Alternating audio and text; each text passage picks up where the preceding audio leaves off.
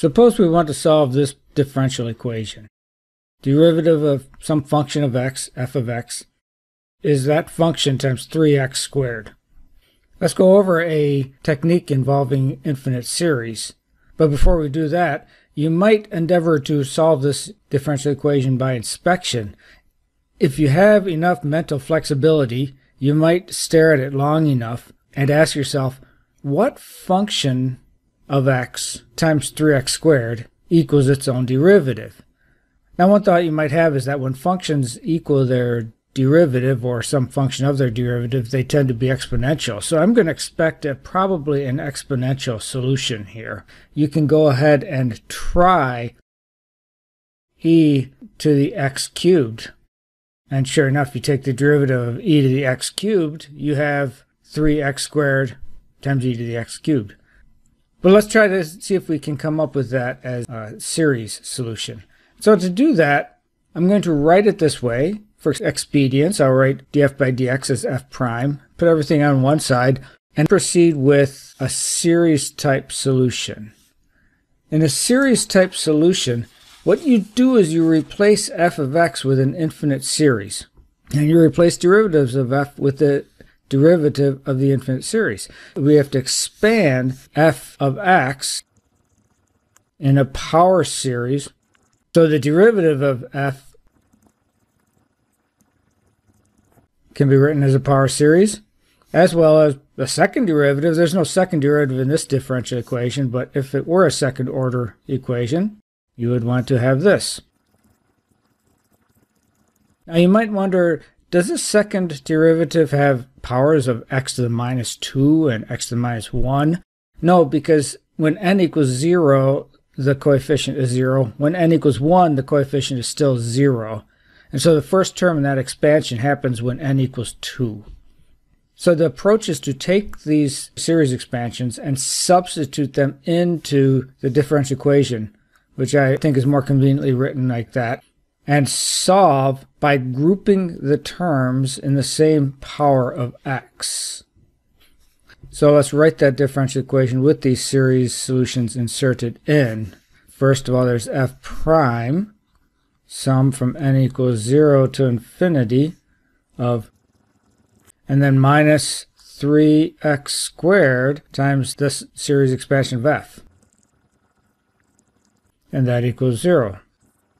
I think it's more convenient to write this, and I'll squeeze it in up here, as a single sum. So sum from n equals 0 to infinity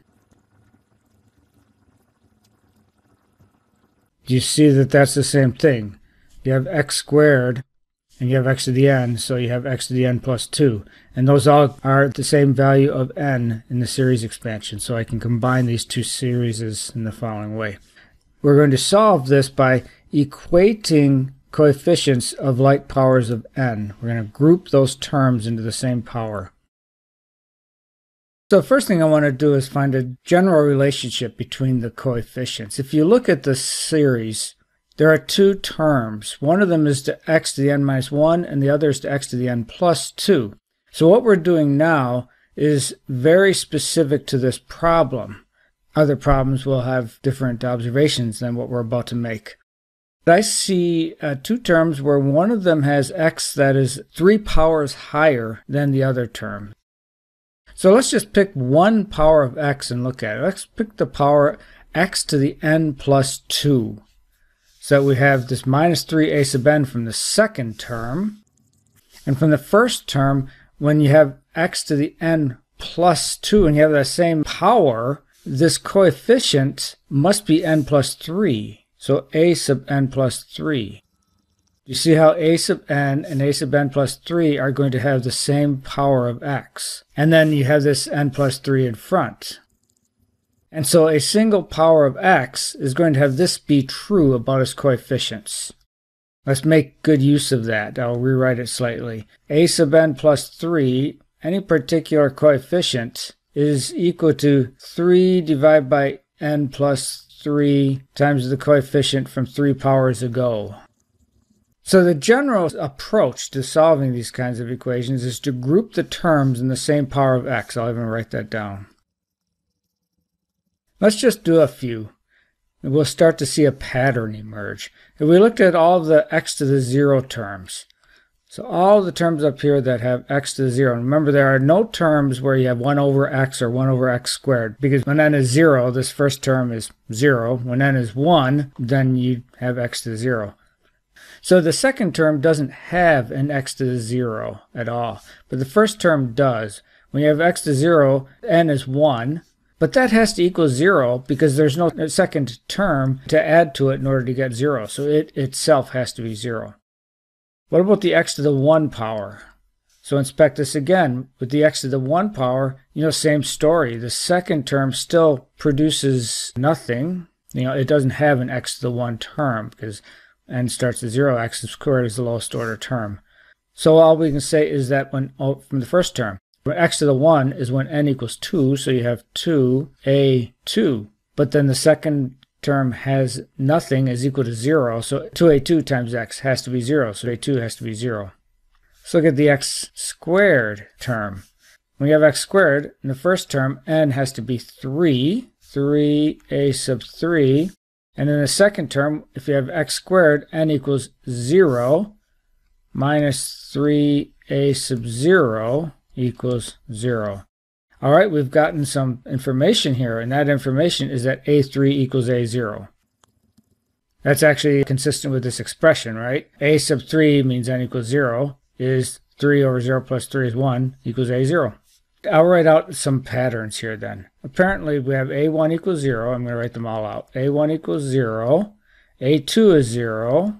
A3 is something I don't know what it is. It's a 0. We have a general constant for all of these. Following this equation in the box up here, A4 must be 0. I don't have to set things up to find out because A1 is 0, A4 is 0. And because A2 is 0, A5 is 0. What about A6? Look at the box. A6 means n equals 3, so 3 over 3 plus 3, so that's 1 half. A3 that's the condition defined by this box. A6 is 3 over 3 plus 3 times A3, and A3 equals A0. A7 must be 0. A8 must be 0. Let's just do one more, A9. And follow the box, it's not going to be 0 because A6 is not 0, but it's 3 over 6 plus 3, or 3 ninths, A6. And since A6 is 1 half A0, that's 1 sixth a0. I think now we're ready to write a solution. Just write out the power series expansion. I'll write it here to start with. It's A0 plus A1 and A2 are 0. A3x cubed, A4 and A5 are 0. A6x to the 6, A7 and A8 are 0. A9 x to the 9th, and so forth. Now this is not as simplified as it gets, so let's put in these coefficients. And so we have A0 plus A3 is A0 plus A6 which is 1 half A0 plus A9 which is 1 sixth A0. Factor out the A0. Are you following this? Do you recognize what's in these square brackets? Compare it to a power series expansion of the exponential. e to the, let's call it u, is 1 plus u plus 1 half u squared plus 1 6 u cubed plus dot dot dot. Do you see how they compare? Apparently f of x is a0 times, so what is this expansion? It looks like it's the exponential of x cubed and we've used a series expansion to solve a linear differential equation. Let's use the same approach to solve a more complicated differential equation. It's a second order differential equation, which includes this kind of funny uh, coefficient, L times L plus 1. You might be recognizing that as angular momentum. And this, in fact, is the Schrodinger equation for the radial solution of a hydrogen atom, which is why we're doing this right now. Let's go ahead and write down these same series expansions for f of x, f prime of x, and f double prime of x. Insert these in to the differential equation, and I'm actually going to write all of that out right now. So first the second derivative. So that was 1 minus x squared times the second derivative expansion. Now we'll go minus 2x times the first derivative of the expansion. And then we have this funny constant term times the expansion itself.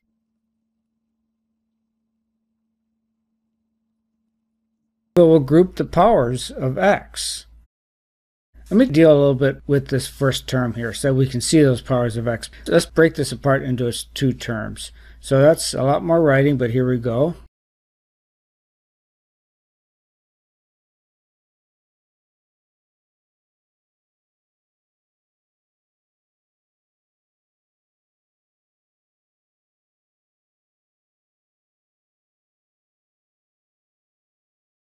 It's a more convenient way to have this series so that we can more readily see the powers of x.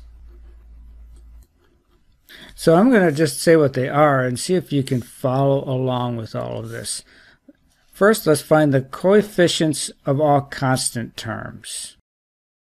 So if I look at the very first term, 2a2, right? Because when n equals 2, I have x to the 0. That's a constant term. The next one has no constant term because you start off with n equals 0. There's no term for n equals 0. And the same here. But the fourth term also has a constant when n equals 0. It be x to the 0 does not have 0 coefficient in the last term. It's look at the coefficients of the linear x term. And I'm just going to keep inspecting each one of these. This first one when you have the linear term, n must be 3. So you have a sub 3, and 3 times 2 is 6. So you have 6 a sub 3 out of that first term. The second term still has no term. x equals to 1 is when n equals 1, and there you have 2 times 1 times a sub n with a minus sign. And the next one as well. Every coefficient in that last sum has L times L plus 1 in it.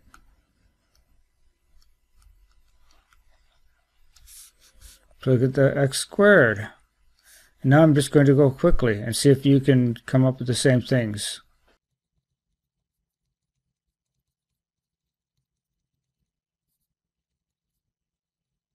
And you might be seeing some patterns emerge.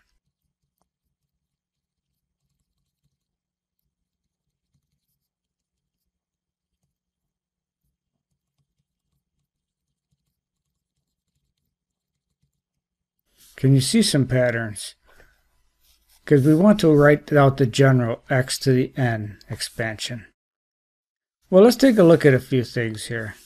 You notice this 30.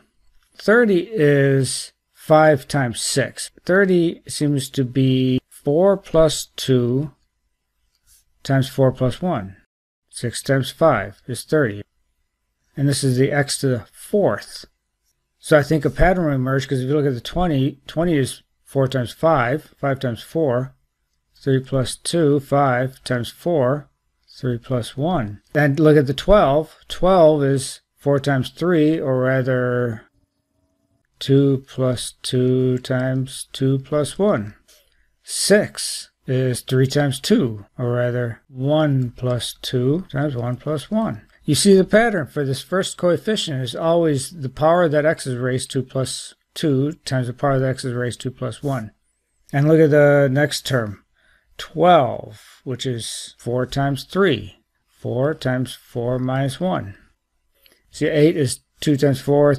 6 is 2 times 3. 4 is 2 times 2. So this coefficient just seems to be 2n. This coefficient is just L times L plus 1, but this coefficient, let's write out the pattern, it seems to be n times n minus 1. And this one seems to be n plus 2 times n plus 1. Now we have a uh, pattern here.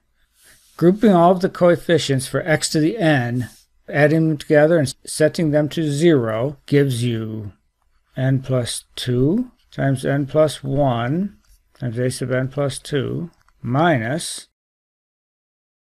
So that's what you get out of the second term there.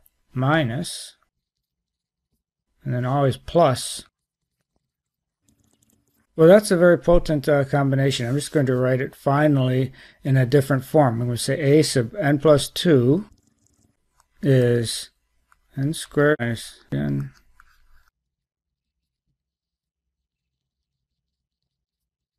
That's the recursion relation for the coefficients. You often see it published in a rearranged form. You can confirm for yourself that this is the same thing.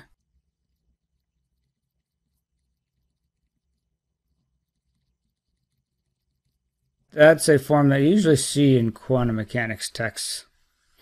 So there are two things we don't know. We don't know a sub 0, and we don't know a sub 1 and we don't have a way to relate them to each other. So our final solution has in general a sub 0 and a sub 1 in it. And you can just write the expansion.